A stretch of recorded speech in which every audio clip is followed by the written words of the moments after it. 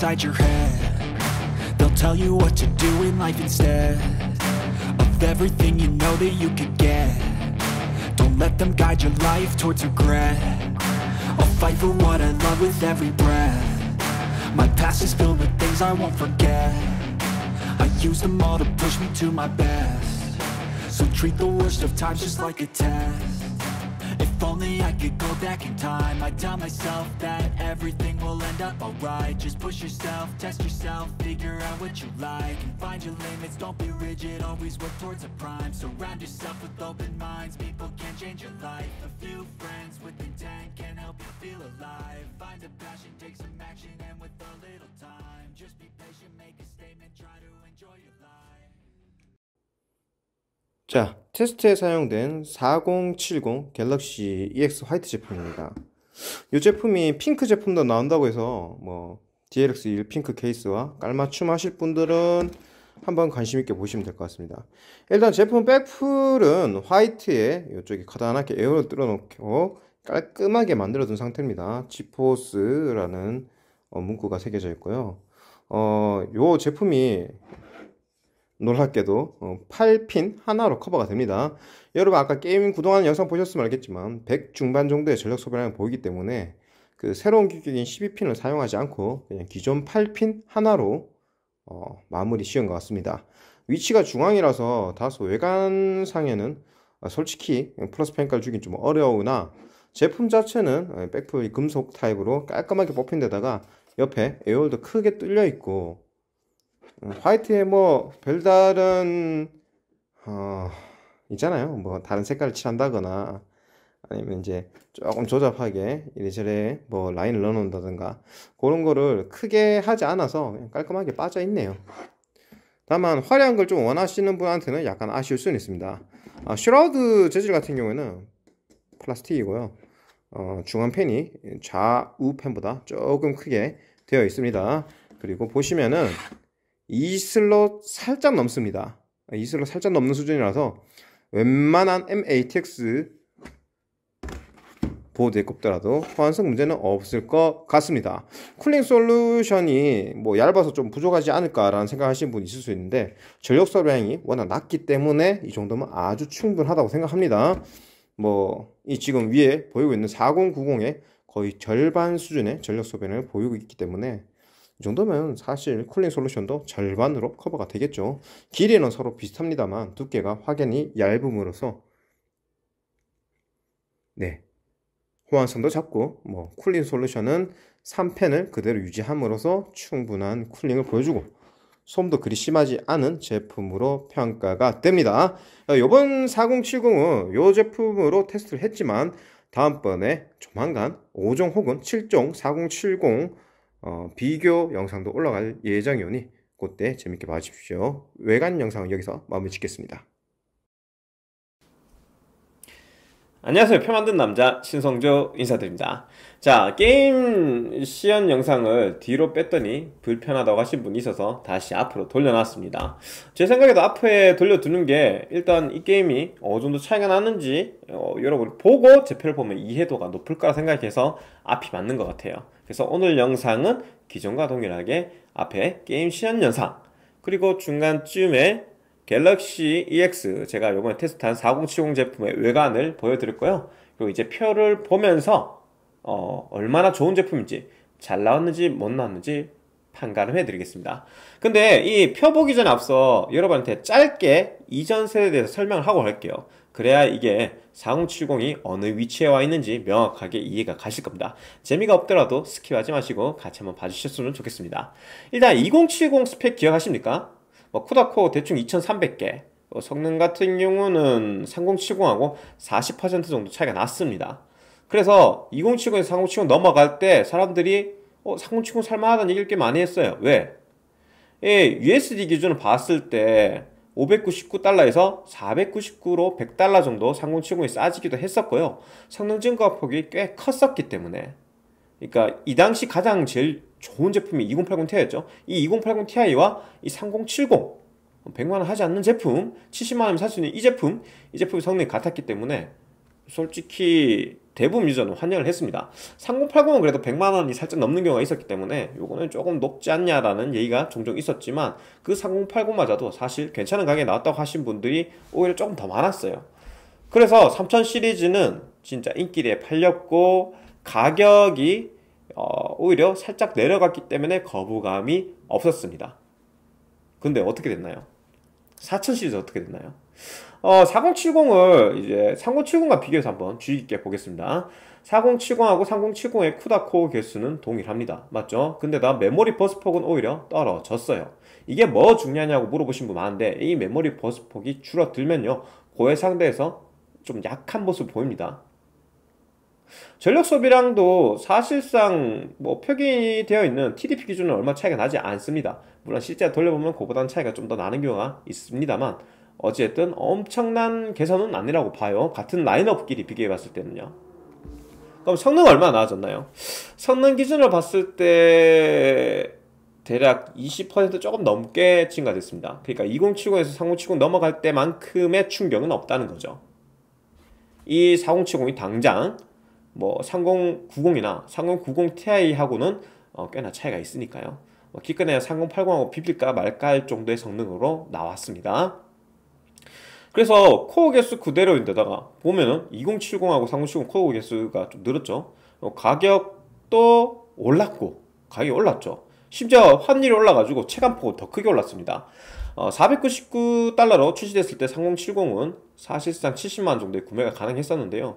지금 599달러 나온 4070 같은 경우는 90만 정도에 구매가 할 수 있으니까 20만 원이나 오른 것처럼 느껴지는 거죠. 100달러면 한 12만, 13만 원 올랐다고 느껴져야 되는데 환율 차이도 생겼기 때문에요. 결국 어떤 느낌이냐면 아니 뭐 코어 개수도 별 차이 없고 근데다가 메모리 버스폭은 잘렸고 그리고 전력 소비량도 기존 3070하고 많이 차이가 없는데 가격은 올랐어요. 어, 성능 증가 폭은 2070에서 3070 넘어갈 때보다 훨씬 못한 폭의 증가가 있었다는 겁니다. 이제 왜 4070이 퀘이사존에서 그렇게 욕을 했고 어, 컴퓨터 좀 아시는 유저들이 욕을 하는지 여러분도 이해가 가시죠? 자, 요걸 머리에 박고 시작하겠습니다. 어, 니도 깔려고 그러는 거야? 네. 일단 제가 4070 Ti는 STRIX 제품 썼고요. 드라이버 버전은 두 가지로 일부 나눠 있습니다. 기존 제품들은 여러분 어차피 테스트할 때 비슷하게 나오려면은 기존 드라이버로 하는 게 맞다 생각해서 뭐 0.01 버전 차이 나긴 하지만 어, 정식 버전이 53141로 돌렸고요. 요 세 가지는 그리고 4070만 53141로 안 들어가기 때문에 베타 버전인 53142 버전 돌렸습니다. CPU는 7800 3D를 메모리 오버를 해서 돌렸는데요. 보시면 4070 Ti하고 4070은 생각보다 차이가 좀 납니다. 어, 4K 기준을 봤을 때 뭐 88프레임, 69프레임, 뭐 83, 65, 58, 45, 80 몇, 또 60 몇. 여기는 거의 100, 여기 80, 여기도 거의 100, 여기도 80. 여기는 80, 여기 60몇. 대체적으로 봤을 때 최소 프레임이 60 정도까지는 방어가 되는 4K에서 상업 기준으로 어, 그 고사양 게임을 4070 Ti와 그리고 평균도 60이 나올까 말까 하는 이 4070하고는 사실 티어가 좀 크게 차이가 난다고 봐야겠죠. 그럼 그 증가폭이 어느 정도인데요? 어, 3080을 100% 성능을 봤을 때 4070은 이 3080보다 못한 6% 이상 못한 93.8%가 나오고요. 4070 Ti는 이 3080보다도 거의 20% 높은 118.4% 나옵니다. 이거 두 개 비교했을 때는 얼마나 차이 나는 거죠? 꽤 큰 폭의 차이 나는 거죠. 25%나 차이 난다는 거죠. 사실 어느 정도 차이냐면은 4070 Ti와 4080 차이 또는 4080과 4090의 차이가 30% 가까이 나니까 그와 흡사한 퍼센테이지가 난다는 거예요. 딱, 딱, 딱, 딱 명확하게 성능을 나눠놨습니다. 4090 절대 4080이 팀킬을 할수 없고 큰 차이가 나는 것처럼 4080하고 4070 Ti도 그만한 차이가 나고 이 4070 Ti와 4070도 그만한 차이가 난다는 거예요. 황 회장의 노림수가 보이는 거죠. 야, 니네 돈 준 만큼 성능을 뽑아주니까 비싼 거 가면 좋아. 이거를 보여주는 겁니다. 이전에는 그렇지 않았거든요. 3080하고 3090하고 10%밖에 차이 안 났고 3080하고 3080 Ti는 6, 7%밖에 차이 안 났습니다. 그러니까 생각보다 80Ti나 90은 더 적게 차이 나서 3%밖에 차이 안 나고 그랬어요.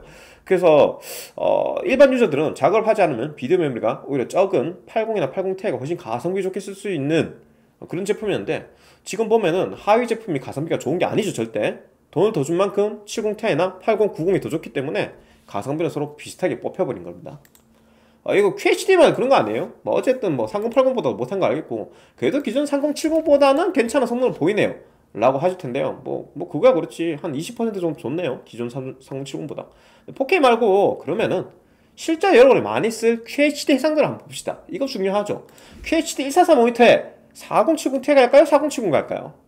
음, 일단 244 모니터 쓴다 치고 여러분이 상옵을 든다 칩시다. 완전 풀옵 아니에요? 상옵 정도 든다고 쳤을 때 사펑 160, 디비전 144, 삼국지 토탈워 120, 어, 메트로 엑소더스 120, 포르자 143, 거의 144네요. 섀도우 툼레이더 180, 어, 넉넉하네요. 보더랜드 148. 그러니까 지금 4070 Ti 가면은 QHD 144에 적합하겠죠?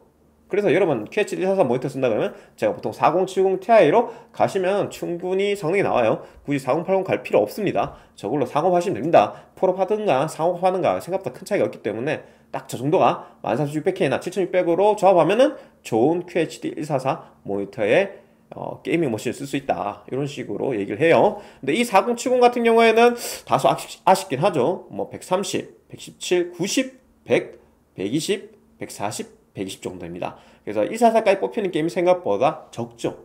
풀업도 아니고 상업 기준을 봐도요. 그래서 어 뭐 그거는 144 모니터 못 쓰나요? 하면은 또 그건 아닌 것 같아요. 뭐 대충 평균 100프레임 넘어가니까 사실 평균 120프레임 가까우면 144 모니터 써도 괜찮은 등급이라 생각합니다. 그래서 QH에 대해서 4070의 성능에 대해서는 크게 태클을 걸지 않을게요. 뭐 4070 성능 나쁘지 않네요. 라고 생각해요. 근데 이 QHD에서도 3080한테 집니다. 저요. 얼마 차이라요? 미묘한 차이지만 98.5%로 3080이 100%일 때 살짝 부족한 성능을 보여줘요.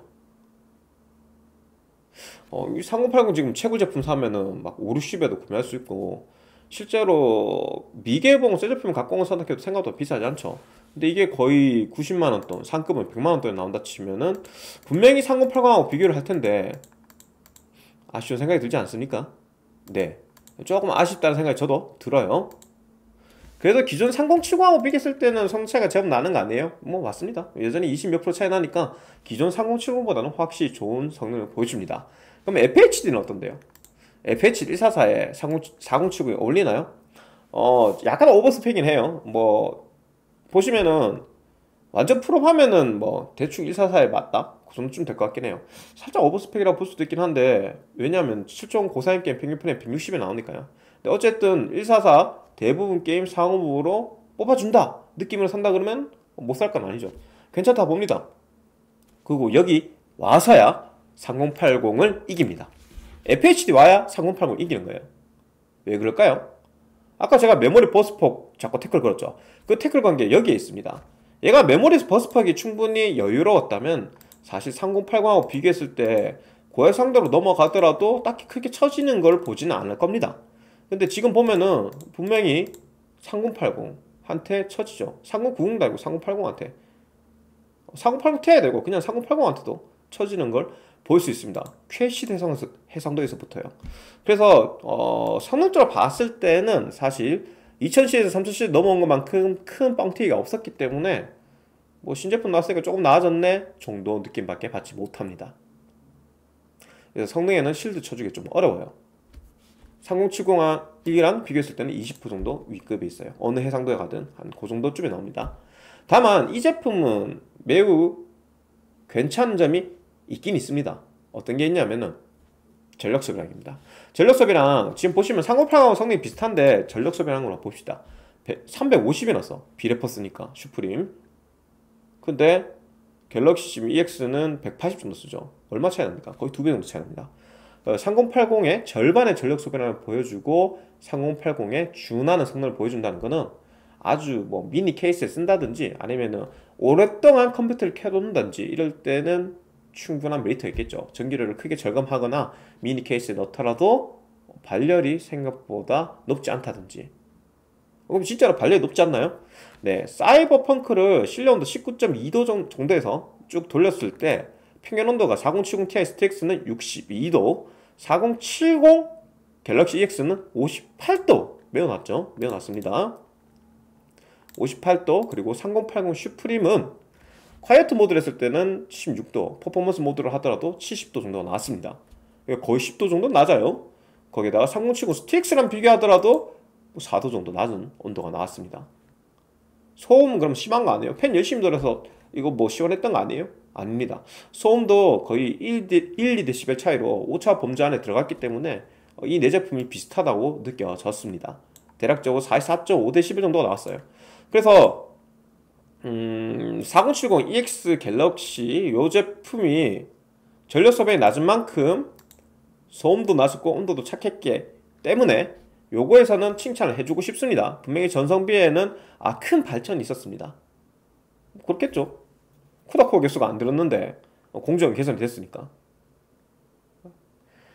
결국은 이거 칭찬을 못할 것 같은 게 두 가지 이유 때문이죠. 가격이 올랐다는 겁니다. 일단 가격이 올랐는데 체감 가격은 10만 원이고 20만 원 가까이 올랐습니다. 90만 원 정도 여러분 아마 구매하게 될 겁니다. 뭐 저렴한 제품이 88만 원, 89만 원 정도 할 거고 쿠폰 없이 그리고 좀 괜찮은 제품은 100만 원 가까이 찍을 것이고 회사마다 조금씩 차이가 있겠지만 그 정도 찍힐 것이라고 미리 들었기 때문에 아, 이 가격적 면에서 일단 메리트가 많이 떨어지고요. 두 번째 기존 세대의 성능 증가폭을 생각했을 때는 성능 증가폭이 아쉽다는 겁니다. 특히 메모리 버스폭이 192비트였던 거는 아 좀 아쉽네요. 뭐 70ti 때도 마찬가지긴 했지만 분명히 그게 고해상도에서는 발목을 잡는 걸 볼 수 있었습니다. 70ti 때도 4K에서 발목 잡히는 걸 여러분 볼 수 있었죠. 90ti하고 뭐 QHD 됐으면 비슷 텐데 4K 가니까 지더라 이런 거 볼 수 있었죠. 그래서 그 부분은 여전히 아쉽네요. 결국 최종 평가가 그겁니다. 4070의 성능은 4080과 거의 같다. 고해상도에서는 3080의 승리고 어, 저해상도에서는 4070의 승리 어, 둘 다 소폭 정도 차이 납니다. 10%까지 차이 안 나니까 그 정도 보시면 될 것 같습니다. 성능 대비 전력 소비량이 매우 낮은 편이라서 소음과 발열 해소에 유리할 겁니다. 그리고 기대 수명 값도 조금 높을 겁니다. 하지만 가격 정책은 매우 아쉽고요. 사실 이 네이밍이 70을 얘기할 수 있을까라는 데 의문이 듭니다. 저는 60ti 정도로 명명하는 게 맞을 거라고 봅니다. 그렇게 저는 평가를 하겠습니다.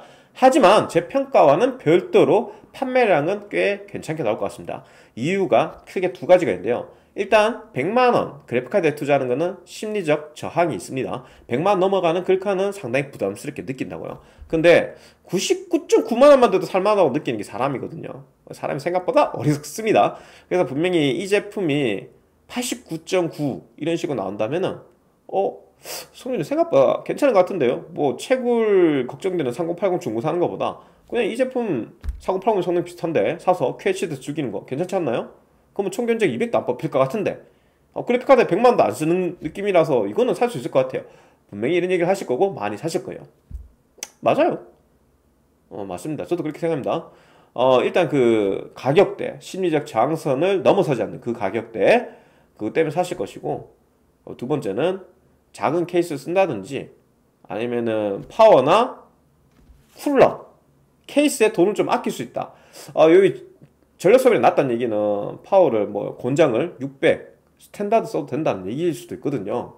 그래서 분명히 권장 파워 용량이 매우 낮게 적혀 있을 겁니다. 그래서 8핀 하나밖에 안 되니까요. 파워에 돈 아끼고 케이스도 좀 비교적 cooling 떨어지는 거 써도 되고 그리고 내부 발열이 심하지 않으면 CPU 쿨러도 너무 높은 거 안 써도 된단 말이에요. 이런 게 복합적으로 이루어져서 생각보다 저렴하게 PC 완본체를 구성할 수 있을 거예요. 그, 그 이유 때문에라도 이 제품을 선택하신 분 분명히 있을 겁니다. 그리고 이제 PC를 오래 켜두신 분, 전기료도 좀 나름 신경 쓰시는 분도 있기 때문에 아마 제가 뭐 저평가 하냐 마냐 4070 Ti보다 이게 더 잘 팔릴 수도 있다라고 생각을 합니다. 어, 개인적인 생각으로는 초기 시장 반응이 안 좋아서 한 번 정도 가격이 더 내려줬으면 좋을 것 같지만 글쎄요. 디아블로 생각하면은 또 이걸로 뭐 디아블로 4K도 될 거고 뭐 QHD 프로도 잘 들어갈 테니까 디아블로 4 나오기 전에 뭐 13600K 혹은 7600에 이 4070 조합하겠다 하신 분들 꽤나 많이 나올 것 같네요. 여튼 평가는 좋지 않았지만 판매량은 좀 나올 것 같은 그래픽 카드 정도로 마무리 짓고 다음번에는 어, 다양한 4070 제품을 들고 와서 온도, 성능, 소음에 대해서 비교해 드리겠습니다. 뭐 좀 적게 하면 5종 비교가 될 거고요. 많이 하면 한 7종 정도 비교할 것 같으니까 많이 기대해 주십시오. 그럼 오늘 영상 여기까지. 여러분, 빠이빠이. 구독과 좋아요 눌러주세요.